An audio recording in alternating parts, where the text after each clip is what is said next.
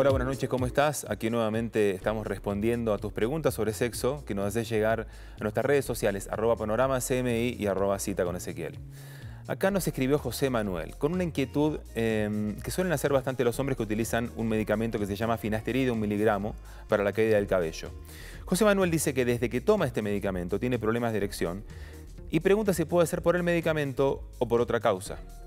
El finasteride es un medicamento que a dosis más alta, 5 miligramos, se utiliza para tratar la hipertrofia prostática benigna. Y a dosis de 1 miligramo se utiliza, lo utilizan los dermatólogos normalmente para tratar la caída del cabello. Entonces, digamos que el efecto sexual o el efecto secundario sobre la sexualidad no es tan común, se reportan un 2 o 3% de los casos.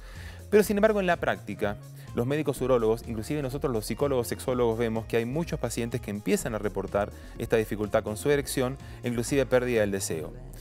¿Qué te sugiero, Juan?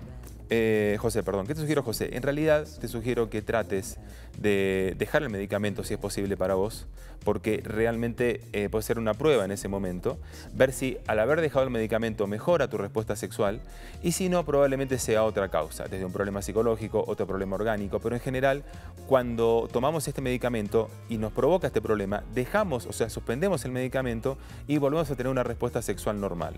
Vale la pena que hagas la prueba eh, el cabello se puede caer un poco más, pero la función sexual me parece que realmente es muy importante para tu calidad de vida. Así que, bueno, eh, José, a, trabajar con esto. Cualquier dificultad, por supuesto, puedes consultar a tu médico de confianza para ver cómo te ayuda a resolverlo. Hasta mañana.